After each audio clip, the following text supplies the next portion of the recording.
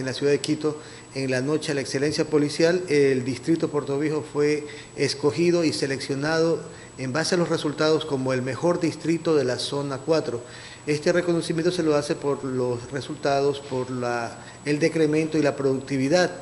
profesionalmente hablando, en el trabajo policial y de seguridad que se realiza en este cantón y en este distrito de policía.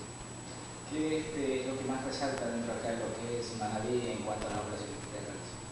Bueno, puedo mencionar que en el año 2017 eh, se tuvo 23 eh, muertes violentas. Este es el tercer año consecutivo que eh, Puerto Viejo es reconocido con, este, con, este mérito, ya que en el año 2018 cerramos con 11 muertes violentas, con un decremento importante en este rubro. Ha subido la productividad y también tenemos decrementos en los principales delitos del cuadro de mando integral que es monitoreado por la Dirección General de Operaciones de la Policía Nacional.